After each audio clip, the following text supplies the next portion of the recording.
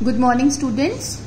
Yesterday we had read the chapter The Elves and the Shoemaker. कल हमने ये lesson पढ़ा था रीड किया था स्टोरी क्या थी समझी थी आज हम इसके हार्ड वर्ड्स करेंगे शू मेकर शू मेकर जो शूज़ बनाते हैं एच यानी कि कोना लेदर शूज़ वर्कशॉप जहाँ पे हम वर्क करते हैं, कोई भी अपना ऑफ़िस का related work factory related work जो होता है रश्ड जल्दी मतलब जल्दी से स्ट्रेंज मतलब अनोखा मनी मीन्स पैसे स्यू मीन्स स्टिच करना है या सिलना मिड नाइट मीन्स आधी रात फिनिश मीन्स कंप्लीट होना नीडल्स मीन्स सुइया shabby means untidy skipping means कोई भी चीज़ कूदना जंप करना क्लैब्ड मीन्स ताली बजाना clear and children make sure that before starting before start writing the chapter you have to make this final term और second term ये आपका फाइनल का है। तो जहाँ पे आपका हाफ़ ईयरली का सिलेबस खत्म हुआ था, उसी के बाद आपको ऐसे एक फाइनल टर्म बनाना है क्लियर उसके बाद आप अपना वर्क स्टार्ट करेंगे।